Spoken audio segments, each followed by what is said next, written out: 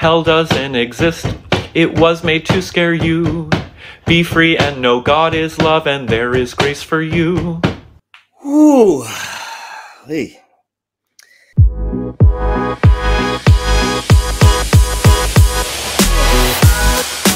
Our goal is to help you enter into a confirmed, confident, and eternal relationship with the source of all life and purpose. No, that's a really important distinction because I think it, it has to be um, very clear. And I know even in, in the run up to tonight, you and I were talking about, you know, I've been called, and even you, which is even crazier, been called liberal and conservative almost in the same day. But it's very like my goal is truth, your goal is truth. And mm-hmm. that means attacking this position because it's antithetical to the gospel, then that's what we do. Whoever says it, and so, but but I think know, it's very important that what you said that the attack is against maybe attack is the wrong word, but the attack is against a a different gospel, not against a group or a person or or a church or something like that. And the reason being obviously that you want truth. That's right. And I yeah. think that's exactly why I, you know, because when I was addressing the movement in the beginning, I thought, well, I have to come up with what the opposite is. Well, is the mm-hmm. opposite evangelical? Well, not necessarily. Mm-hmm. That that could go off the rails. We don't know.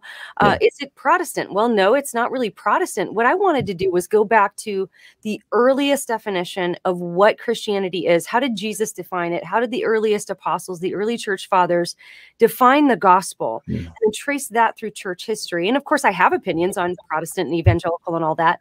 Right. Uh, but but I want to defend against progressive Christianity. I want to defend historic Christianity, not necessarily some kind of bubble I grew up in, because I had to sort of go back and see, well, what about what I was raised with is actually authentic Christianity and what isn't? Yeah. And then sort of get rid of the stuff that isn't authentic Christianity and embrace the stuff that is. And maybe there's some things that I didn't know about as I was growing up that uh, define Christianity and have made has made it unique in the world for 2,000 years. And so uh, that that's sort of why I chose that as the the opposing view rather than fighting for some kind of modern label. We're just talking about bare bones core Christianity here, like the gospel, right? Yeah. There secondary issues I'm sure you and I disagree about. Yeah. But we're talking about like are are we brother and sister in Christ? And for mm-hmm. brother and sister in Christ, we can argue about those other things, you know, throughout our lives. We can argue about them in heaven. But what really matters, I mean, the core issues of what it means to be saved, what it means to call yourself a Jesus follower, and that's what I that's what I chose to try to defend in yeah. in my opposition to progressive Christianity. How we got into this, how we got here was um, somebody posted a very interesting TikTok video from a progressive Christian. And for the record, me and Alex are not progressive Christians. I just want to put it out there, right? Um, nobody, in fact, in the UA community are progressive Christians. Nobody, in fact, in the UA community are progressive Christians. We are definitely not that. You know, um, we are not on the wrong side of woke. And um, the reason why I bring it up right up front is because I think a lot of people see us and think we're them. Mm. How they do that, I don't know. We all try to be as sound as possible about doctrine, but we are we are very grounded in the essentials. What is some of the pushback that you've maybe got from your book, that you got from your blog? I know you got a lot of positive things, but what is some of the pushback from the progressive Christian mm sect or and on whatever we want to call it um, that maybe even shocked you or that was missing the point of which you were trying to articulate? Yeah, thanks for that question. That's a good question, and I think to maybe to properly understand where the pushback is coming from, it might do us good to go a little bit further into defining it because you know we talked about the kind of the fundamental difference in the way we see church mm-hmm. history as far as the people closest to jesus. And by the way i, I want to say this from the get-go to say the phrase progressive Christianity or progressive Christian, this is not a derogatory term. This isn't some sort of slanderous term I made up to bash people I disagree with. This is actually a term that they use to describe themselves. Yep. They define progressive Christianity themselves. And I do my best to represent their views accurately so that, you know, if there's something I disagree with, I make sure that I'm disagreeing with what they actually believe. And I really yeah. do my best, the best of my ability to do that. And so if we look at the way progressive progressive Christians define it, what you're going to see is if you follow the narrative arc of the gospel, just I'm talking bare bones. I'm not going to get into secondary issues here, but if yeah. we think about you know, creation, uh, humans created in the image of God, and then humans choose to rebel against God, introducing sin into the world. Of course, God being holy, this separates uh, sinful humanity from a holy God. So we have a big problem here. And then Jesus comes with the rescue plan, God in flesh, living this sinful life, taking our sins upon himself on the cross, making uh, cleansing us from our sins, offering us that redemption. And then for those who choose to put their trust in Jesus, you have eternity with God, eternal life in heaven with God. And for those who don't want to be with God forever, there's this place called hell. And and so this is kind of like the bare bones Christian gospel. But on every point, uh, as far as I can tell from all of the progressive literature that I have read and the blog posts I've read, the podcasts I've listened to, there is almost a unanimous uh, sort of denial of all of these things. So in in the progressive church, they they don't believe that sin separates us from God. They believe that it's just our shame. If we just mm. were to realize how beloved we are and how beautiful we are, we would realize we were never separated with God from God in the first place. Now, of course, if that's your your sort of uh, soteriology or your theology of salvation, then you don't really need atonement. And mm-hmm. so you can see why that would be something that would be viewed kind of ugly and horrific. And you'll often hear the atonement referred to as cosmic child abuse in the progressive church. And then, of course, there's this universalist mm-hmm. sort of tendency to deny this final judgment and heaven and hell. You know, just in the end, it's going to be fine. We don't know exactly what heaven is, but everybody's going to be there and it will be okay. There is no hell. And, and of course, not every progressive Christian is going to do that narrative arc exactly like that. But the thought leaders, the ones writing the books, generally speaking, that's been my experience is that's where they're coming from is denial of all of those kind of core gospel points. And so, uh, so to answer your question about the pushback, um, it, it's very interesting to me, the pushback that, that I've gotten. I've gotten a, few different sort of types of pushback. Yeah. I would say the main one would be uh, just this sort of like, oh, you're so close-minded, um, you're you're just bigoted and hateful because you don't want people to sort of experience God for themselves, and um, you you you're stuck in this sort of really simplistic evangelical idea. And once you really get it, once you do the work, you'll understand that God is so much bigger than the tiny little box you're trying to put him in. I think that's probably the main uh, pushback I get. But I, I do see a lot of progressive Christians saying things like, well, that I just don't understand progressive Christianity. Um, but but what interesting, what I haven't seen a whole lot of is people refuting the points um, very often when I listen yeah. Critiques, they'll say, "Well, I agree that this is what progressive Christians believe, but I just, you know, I, th I think that it's silly to still think this way or something like that." So, I, I mean, I definitely do get a lot of pushback, but like you said, I think that um, what keeps me encouraged is the emails I get from people daily who say, "Man, exactly what you're describing is what I'm seeing happen in my church," and yeah. I'm so thankful that I have language now for to to give you know words to my red flags, and so that that that keeps me encouraged. So his name is, you know, he calls himself Reverend Brandan Robertson, author, activist, theologian. One could argue that. Um, and you can see this, you know, the signs right next to him. Interesting what he puts first. Right? I did, I did peep that to just now. Yeah. So that's interesting. So let's learn a little bit more about Mr. Robertson, the theologian. Now let's learn a little bit about his schooling. He went to right. um, what's it? How, how you say this? It's Iliff. Iliff. Iliff. I don't know. Iliff, yeah. theological school related to the United Methodist Church. Its central mission is the education of persons for effective ministry in Christian churches and other religious communities for academic leadership and for the cultivation of justice and peace in local and global contexts. Iliff affirms its United Methodist identity and its liberal Christian heritage, grounded in scriptures, question mark, provided by Alex, uh, and traditions, critical thinking, interesting, hmm. and openness to emerging truths, including those derived from so from science, experience, and other faith traditions. Interesting. In a world fragmented by religious and ideological conflicts, Iliff promotes theological scholarship and dialogue to foster transformative possibilities for humanity and nature. Jesus wasn't very concerned with believing the right thing. He wasn't even concerned with making others Christians. He wasn't even a Christian. For him, it was about a compassionate way of living. All that Christians would be more like Christ. Okay, so this is this is not even a theological issue. This is a grammatical issue. and I've heard atheists make this claim, but I've never heard a Christian pastor of all things make this claim. It's illogical on the face of it. The suffix, I can't believe I'm teaching English class right now. The suffix IAN right. means relating to, belonging to. Right. right. Right. So if I am a Martian, I am from Mars. Right. That's what the that's what that word means. So Christ, by definition, could not be a Christian because he can't be of himself. Right. It, it's illogical to even say. We're trying to be like him. He right. doesn't have to try. He already is. He already is. Right.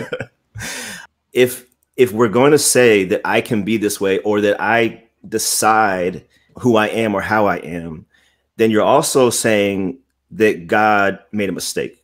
And if God is capable of error, he's no longer God. So if you feel like I'm in the wrong body or I am this is the best expression of myself, you can say that, but you can't say that and claim Christ. You see what I'm saying? You can't have you can't have it both ways. Either he is right and he doesn't make mistakes, and then, then it's up to us to seek him and figure out, God, help me understand how you designed me and why you designed me in such a way, and help me align as best as possible with your standard and your word and your nature.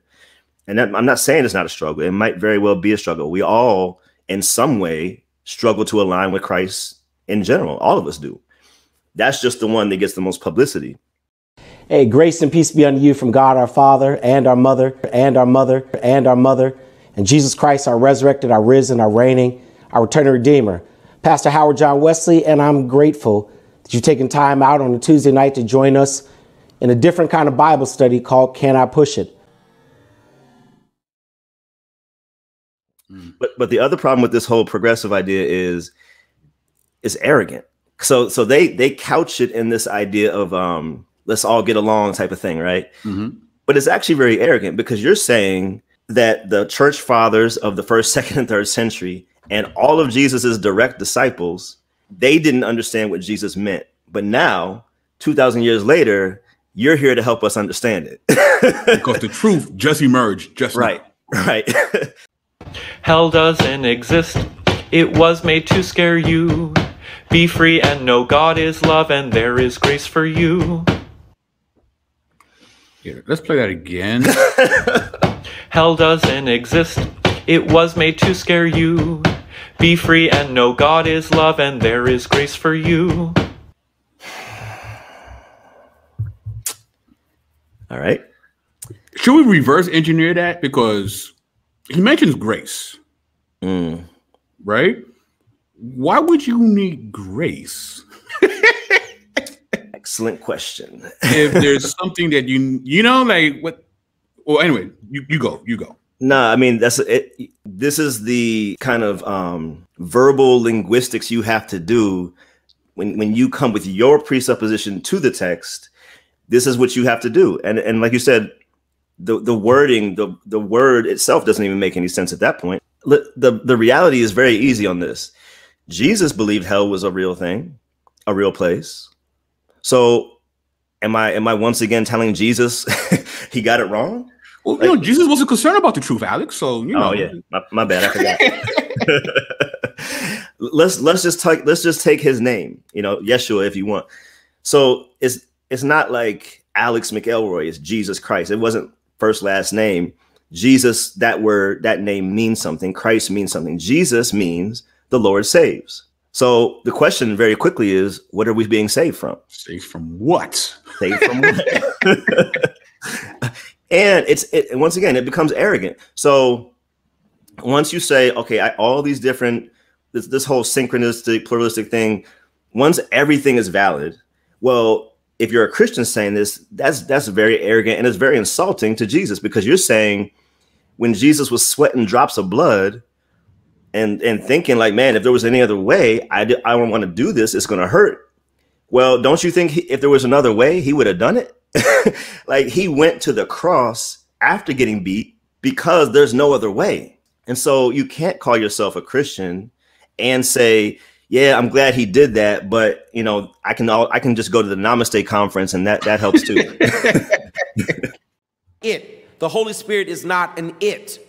The Holy Spirit has personality, and you are biblically correct to refer to the Holy Spirit as her and she. And so throughout this sermon, I'm trying to intentionally use gender equal language to remind you that God is not a person, which means that God is not a man which means that we should not limit our understanding of God to masculine language. For if the truth be told, women are shaped and formed in the image of God, and when you embrace femininity, you are also embracing the homoousios of God. There ought to be a sister wave a hand right here somewhere that we should not just equate God's strength and power with masculine language. For there's some sisters in here who know that there's some femininity that is powerful. As a matter of fact, if you've ever given birth, you know that there's a strength and femininity that a man can never understand. I wish I had some sisters that know that to be a woman is to be strong, to be a woman is to embody the essence of God, to be a woman is to walk in the power of God, and that when we talk about God, we can talk about her because that's where you find the real strength and love of God. Yeah, we are a progressive church. Ooh. Hey, let's see what did okay, we already know the Bible refers to the Holy Spirit as he, right? That's where he has a problem with it. So he's disagreeing with the Bible. I hope y'all caught that. But let's just look at some of the some of the other historians, theologians throughout the years, throughout the centuries. Let's go to Tertullian, 213 AD. This is pre-Nicene, right? But the Paraclete, who is to call the Holy Spirit, is so called from his work of consolation. I went now, I think this is from against Praxeas, but this is 213 AD. Okay. Let's go forward. 1529 AD, Luther. The Holy Ghost is called me by the gospel and illuminated me with his gifts, his gifts, and sanctified and preserved me in the true faith. Okay, so far so good. Schleiermacher. Now, I did this just for you, Zion. but I'm going to say something in a second. This is 1830, roughly. The Spirit of God in the hearts of the disciples ought to be a continuous hearing, a continuous attending to what the Lord Himself had said to them when He was with them. For these phrases belong together. He, Jesus, I'm sorry, he, the Holy Spirit, will take what is mine, Jesus, two distinct persons within the Godhead, and declare it to you. And whatever he, the Holy Spirit, hears, he will speak, right? So now we get up to, well, I think that clip's from 2017. And so now all of a sudden the Holy Spirit's a she? How did that happen? And and the arrogance that I'm speaking to is the fact that for, from the beginning, from the people that literally walked with Jesus up to the people who are next in line, the patristics, and going all through the Reformation and going up. And, and this is why I brought Schleiermacher. Let me tell you, Schleiermacher is considered the father of progressive or liberal theology or Christianity. He wouldn't probably have characterized himself in that way, but most theologians trace that kind of mindset back to him. And so, so this is a liberal dude saying this, and he's still calling the Holy Spirit he. And I'm trying to drive this point because anybody who is saying anything other than that, you're standing on the outside looking in, Mr. Wesley and others. There's no one in the history of the church that co-signs that. So the arrogance comes in with saying, okay, well, I know y'all were thinking one way. I know, I know for 2000 years y'all thought you had it right, but we've progressed. I've progressed. Let me bring you where I am. Let me bring you where God's got me. Do you, do you see what I'm saying? That, that, that the arrogance within there is that somehow we need to uh, step our game up to you. All right. so it says, for when it is the good that is under construction, I'm sorry, consideration, um, and the ethical object is predominant, truth must be considered more in reference to art than science. For that is, unity is to be, I'm sorry, if that is unity is to be preserved in the work generally. What do you What do you want to say on that? And then we'll throw some other thoughts in there. Well, I mean, this, this is a this is a very Schleiermachian quote. It's very consistent with his uh, line of thinking. For those who don't know, just a little background. Yeah. It, at Schleiermacher's time, the Enlightenment philosophers that had come before him, Enlightenment conversation was very popular. It was the hip thing in wealthy, affluent circles. The upper echelon of society enjoyed feeling and, and being erudite and being in the know. And so philosophers were rock stars. I mean, it, at the turn of the 20th century, when you come come into World War II, right before World War II, Karl Barth is a Karl Barth, Albert Einstein, Dizzy Gillespie, not Dizzy Gillespie, uh, Louis Armstrong, are three of the biggest rock stars on the planet. To kind of give you a, a, some context compared to what we see today, you know, today Cardi B is a rock star. So that's kind of where the society's going.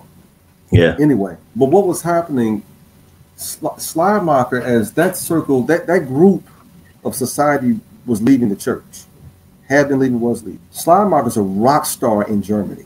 He is a huge, powerful preaching pastor there in Germany. And Schleiermacher sees what's going on because he's invited to erudite dinners and whatnot, and he's hearing. And Schleiermacher really thought that he was helping to save Christianity. And when you read this statement, you're getting kind of where his his his thought led. Pay attention to just key terms he says.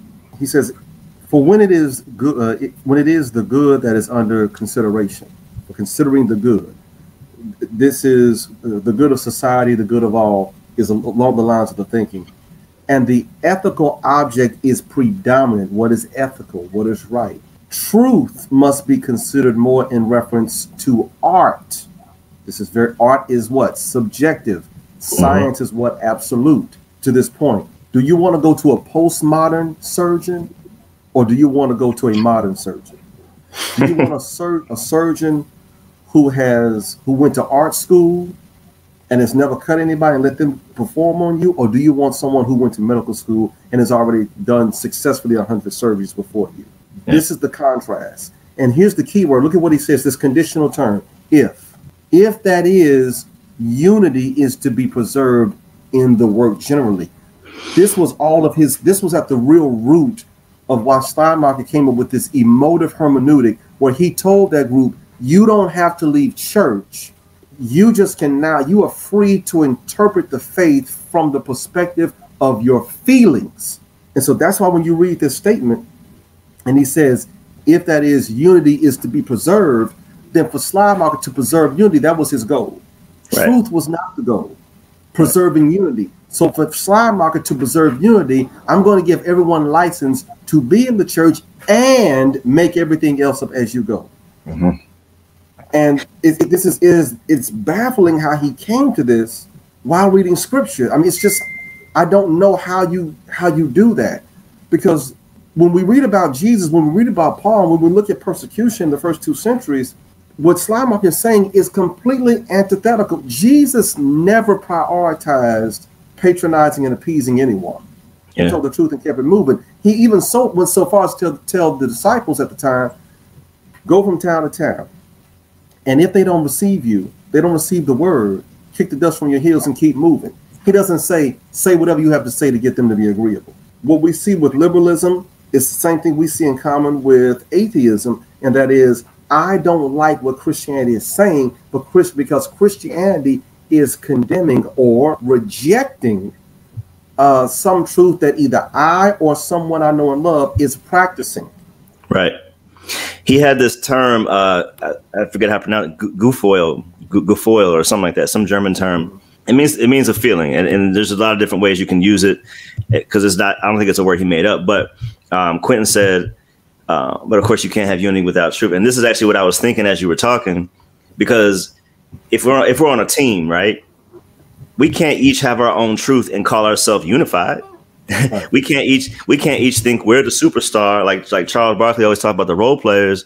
If all of us think we're the star, we ain't gonna be unified, and we're not gonna win either. So we that's a great we, point. Uh, that's a great point.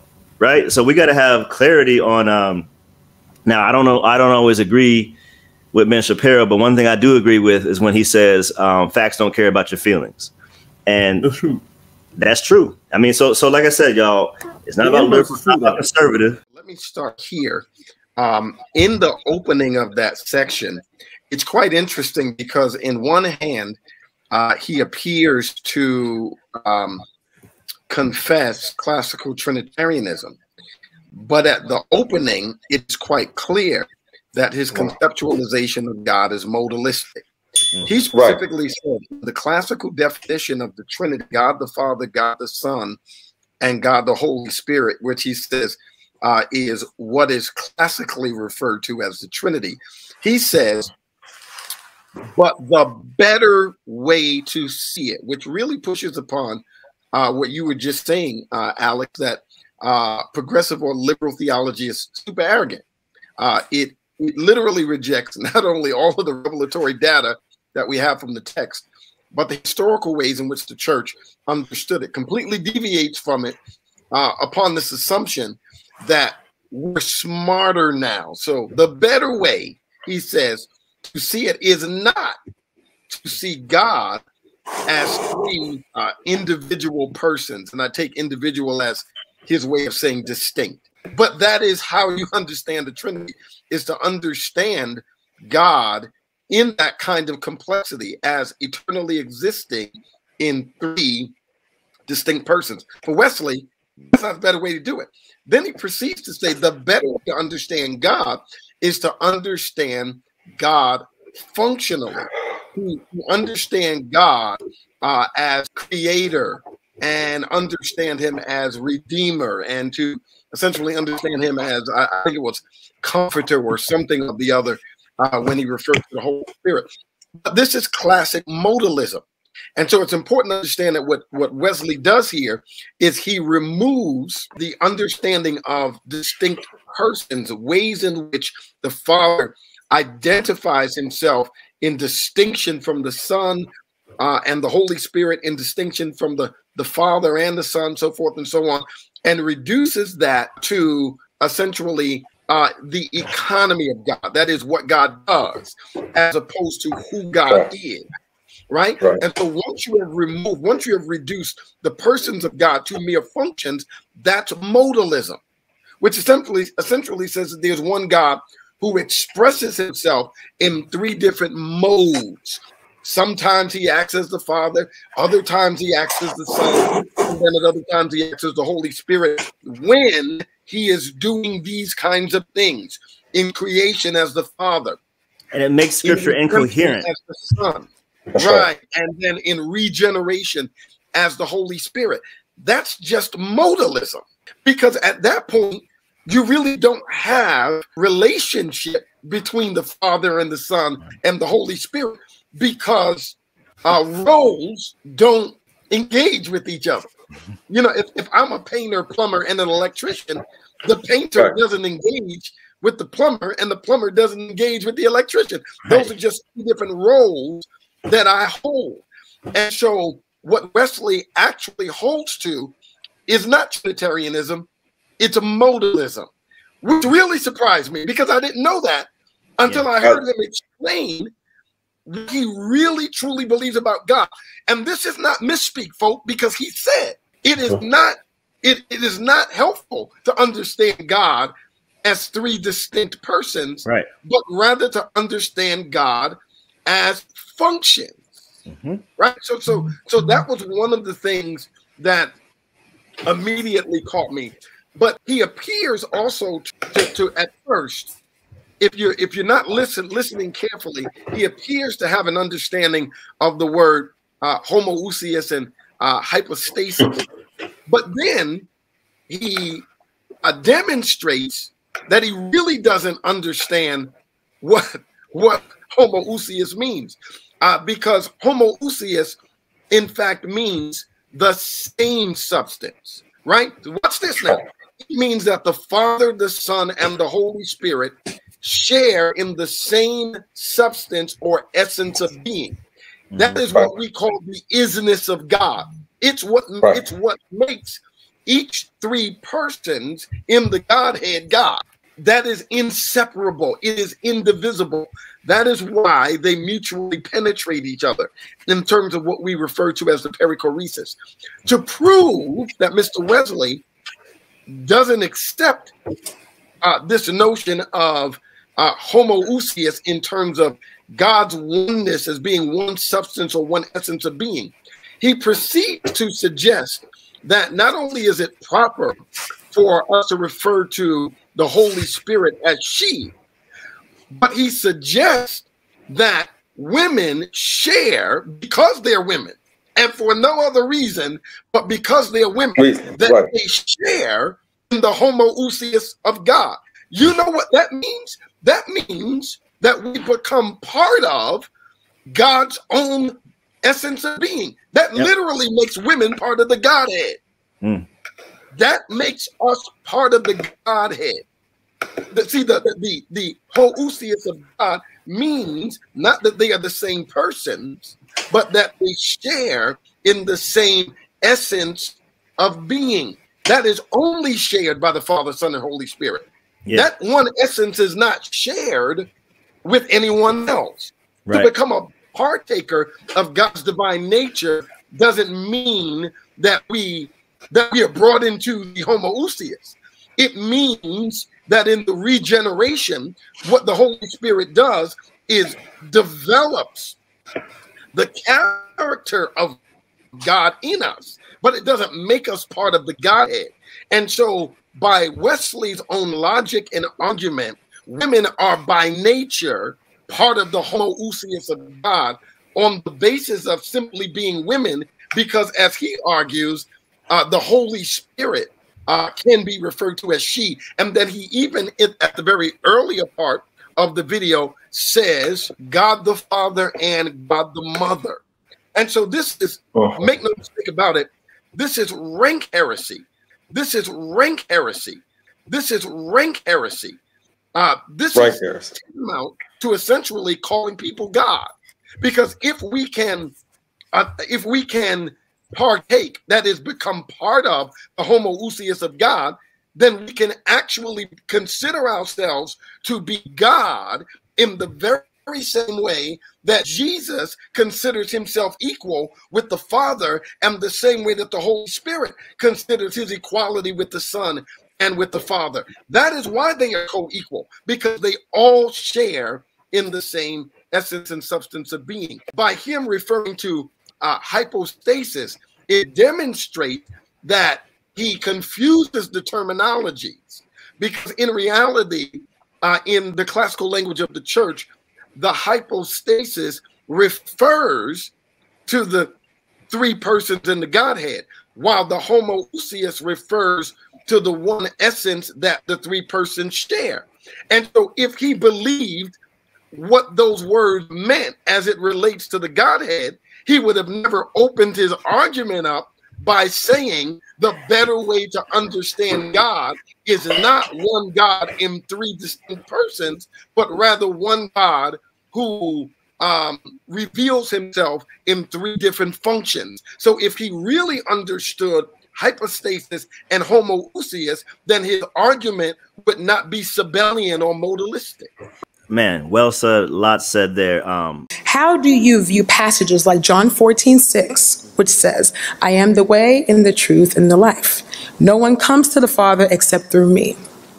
Acts 4:12, which reads, "And there is salvation in no one else, for there is no other name under heaven um, given among men by which we must be saved." And lastly, Romans 5:18, which says, "Consequently, just as one trespass resulted in condemnation for all people, so also one righteous act resulted in justification and life for all people." So, in light of your position, how how do you all um, approach those passages? Because I, I can So for me, and I, I know this is where, you know, I- listen to this explanation, y'all, because y'all was asking about, about him and these verses, this specific verse, John 14, 6 and others. Listen to what he says. the rub is because I, I was born and raised Baptist. John 14, 6 was right after John 3, 16. Yeah. You know, uh, Right, you, right. you That's learned true. them in that order. That's true. That's the way it went. And, you know, scholarship and learning challenges traditional understanding. Hmm. You know, so I, what I accepted as a young child, I then began to question when this is exclusive to Johannine literature, mm-hmm. the John 14, 6. Not to say that if it was replete in all four gospels, it holds more weight, because I understand authorial intent. I also understand that a lot of the speeches in Acts are, if we want to attribute it to Luke, it's this prosopopoeia. It's Luke putting speech in the mouth hmm. of someone else to justify his thoughts. So this, I'm not saying that Peter doesn't say this, but this is Luke saying this is what Peter said. And Dr. Judy's helped me tremendously understand that you can really make the Bible say what you want the Bible to say. Mm-hmm. And when I incorporate passages like this with Abram arguing with God over the fate of Sodom and Gomorrah in Genesis 18, Abram lands where I do, which I think is an exclusive position.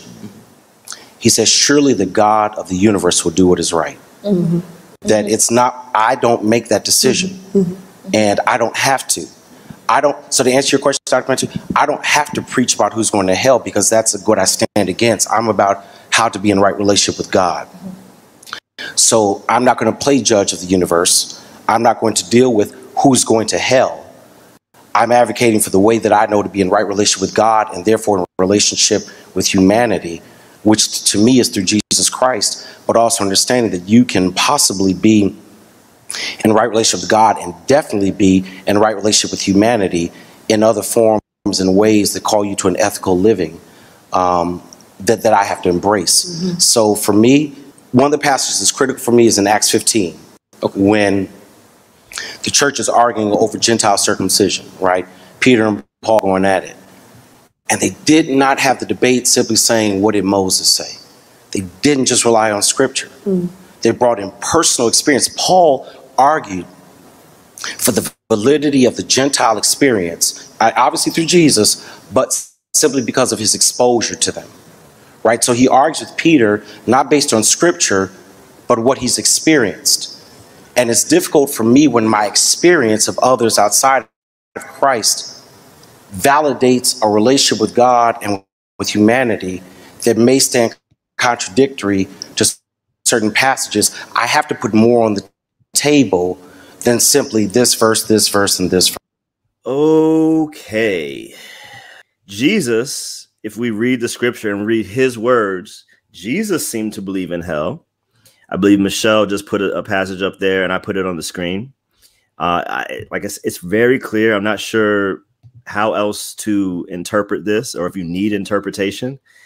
Do not be afraid of those who kill the body but cannot kill the soul. Rather be afraid of the one, one who can destroy, who can do this. He's capable of this and put the body and soul in hell. So hell is an ontological reality.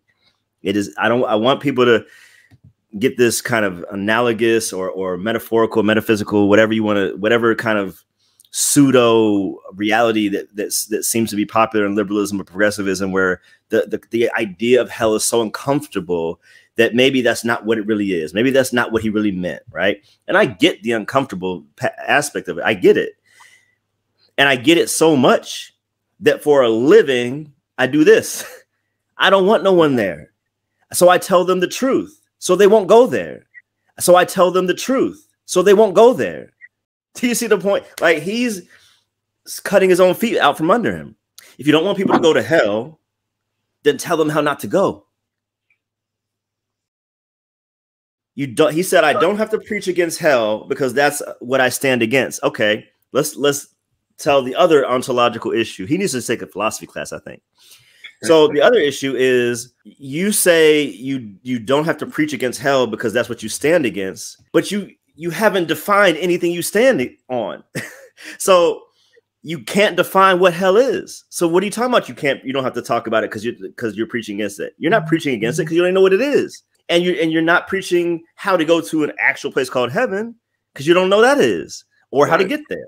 You know, to say I don't need to preach against hell or because I stand against it, he stands against the idea of hell. He has no concept, from my knowledge and from the stuff I've watched, of actual hell. That's a difference. One of his hermeneutics, and when I say hermeneutic, everybody, I'm saying the lens through which or the the rules through which you examine life and form a worldview he is saying this Muslim is a nice guy. I like him. He seems to be a good person. I'd rather worship with this person than somebody who theologically and spiritually is my brother or sister because they're not a nice person. Now, there's a lot of leaps. Every Christian's not mean. Of course, there's some. I've probably been one. You know, like everyone is, we never claim perfection, But this has nothing to do with truth. There are ways, there are there are tests for truth. Not that I invented. Logical consistency, consistency is it experientially re- experientially relevant? Does this pass the test of the coherence theory of truth, the correspondence theory of truth? This is day one philosophy class. Exactly. Like correspondence theory and coherence theory is day one philosophy. It has to correspond to reality. It has to form a coherent worldview when all the propositions are put together. Every everybody at this status at, at a doctor level should know that, especially in the pastorate. So he's missing that you don't like the idea of hell, but if you don't define your terminology, then you don't even know what you're preaching for or against. Right. Let me say this last thing. There has to be a telos, um, and this is so my shape. My channel is called Relentless Pursuit of Purpose. Purpose, you know, you can look at tele, teleology. That is design and direction, and those things are necessary in order for things, something to have meaning or purpose.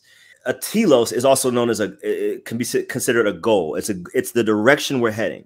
Now, when we watch basketball, it's March Madness. The mm. goal. Everyone knows the goal, and knowing the goal makes it fun to watch. It makes it fun to play if you're if you're a player Wesley has removed the goal. We talk about moving the goalpost. There's no goalpost. There's no target. You know, what I'm saying? Like, this is not a knock against him. There's nothing to aim for in his Christian worldview. What are we doing? What are we even here for? I feel like Jadakiss. What am I even doing here? I mean, come on, what are we doing here? I could have been in the bed watching a honey. Right, right. Like, what's the point? There, there's I, I have no moral responsibility to the dictates of the text. I have no obedience responsibility to Jesus. I can rename parts of the Godhead or portion people of the Godhead the way I like. This is so barely Christian, if you even want to call it that, that there is no target or goal. There's no good news left. Message. Do you see what I'm saying, y'all? Man, listen, there, there's so much to unpack.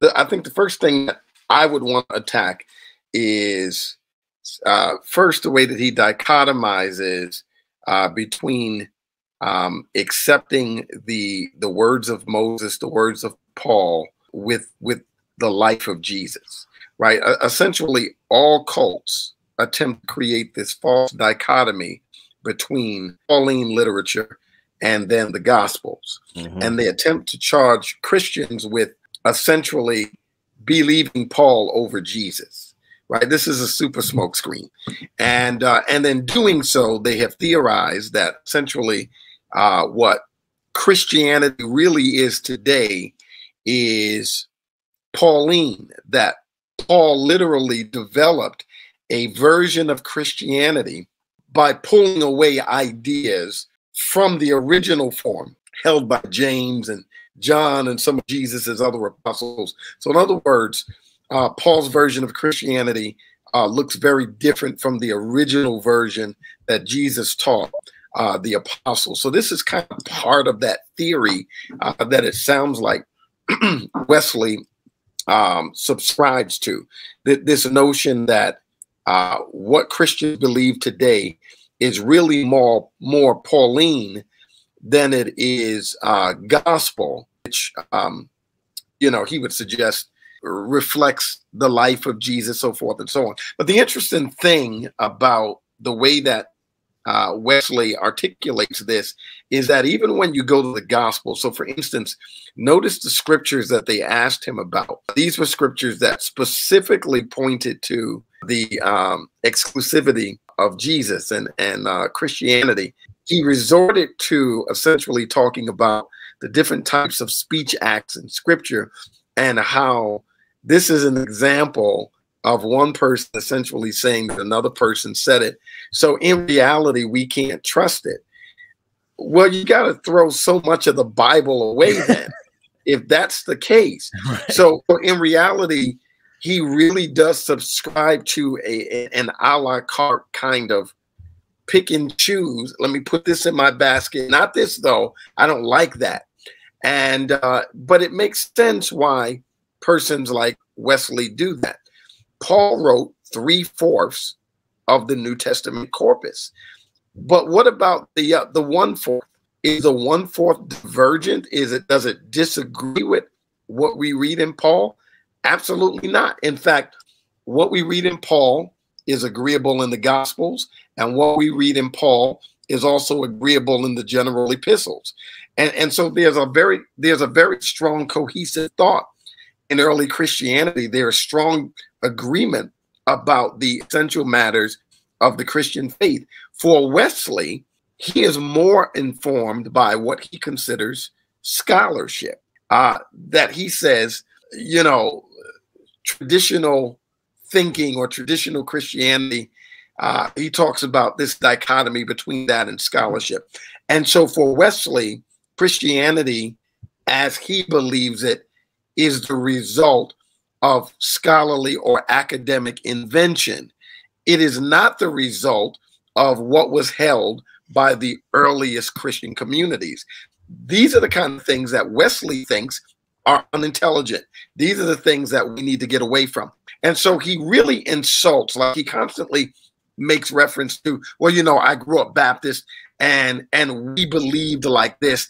And he makes believing in a certain way sound so unintelligent. So, for instance, here's one of the ways that he accomplishes that.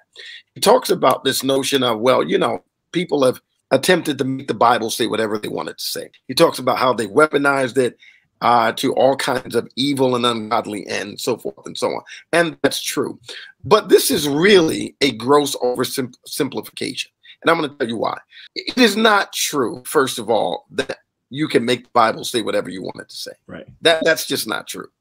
Uh, that that's that's an oversimplification of what is true.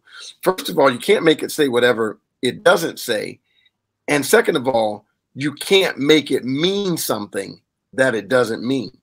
You can make a text appear to mean something that it doesn't, but you can't make it say something it doesn't, and you can't make it uh, mean something that it doesn't mean. That's number one. Number two, um, he doesn't do a, a, a great job drawing distinction between reading and interpretation. So he suggests that what we have been doing all this time is simply basing what we believe off of proof texting, simply mm-hmm. reading a verse saying, Here, this is the reason I believe this is look, this is what it says in John 3 and 5. That's not what we've been doing. That's not what we've been doing. The way he's setting it up and framing it is really straw manning. He makes it seem like the way that we have arrived at what we believe is simply mm-hmm. proof texting, which is essentially finding scriptures that you think supports a view that you hold, when in fact that scripture does not support that view.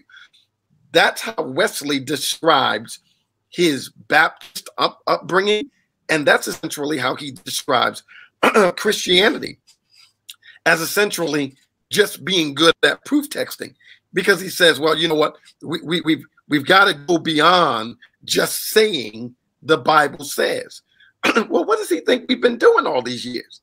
We're not just saying the Bible says. Exegesis is about explaining what the Bible says and drawing the meaning out. So let me give you an example.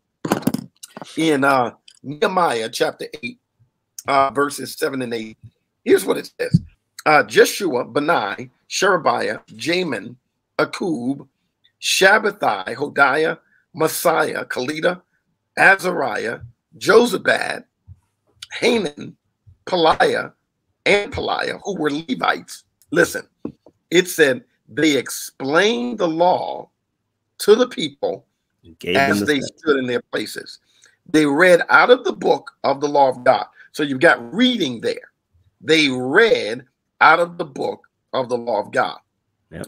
It says translating and giving the meaning so that the people, watch this, could understand what was read. So they did three things. Number one, they read it.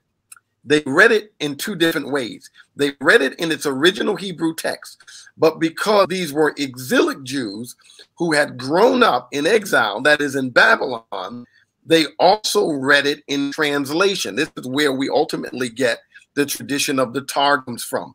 They read it in Aramaic it says they translated it. That's what mm-hmm. that means. But that would just be reading still.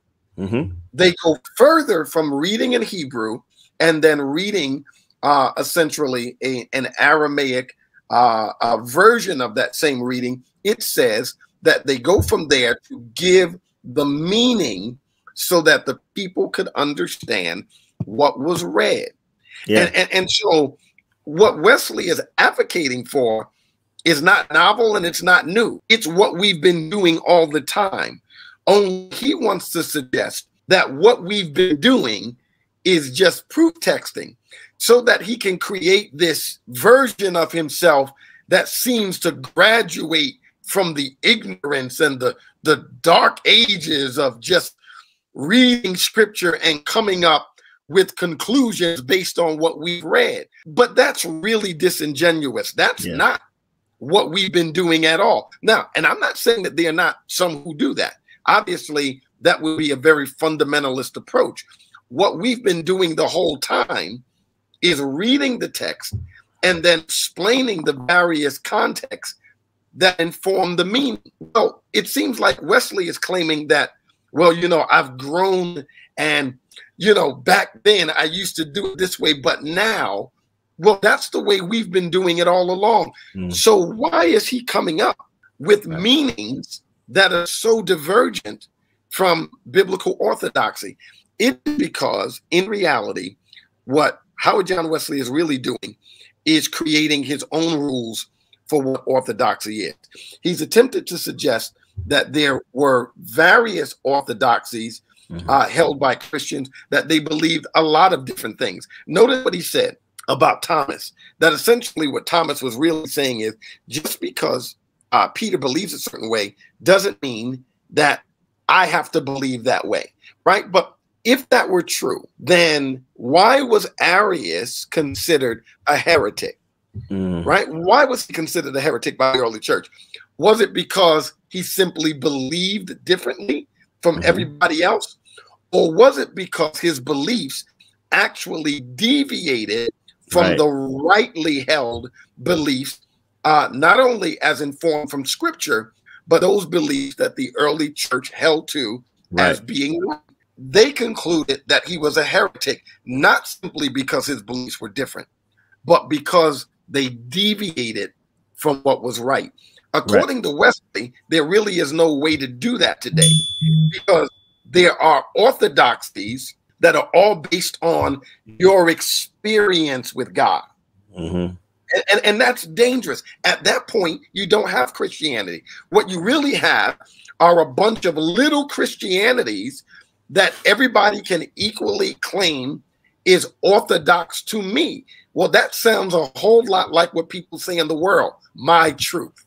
Yep. It can't be, there can't be multiple orthodoxies. There can't be numerous versions of Christianity that that are that are all diametrically opposed to each other.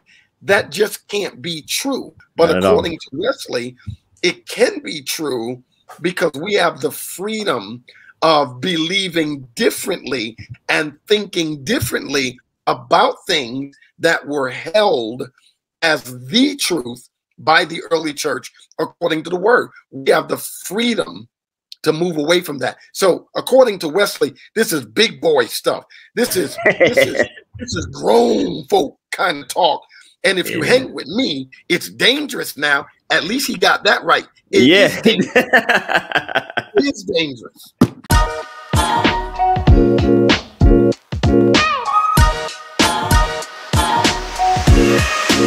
Thank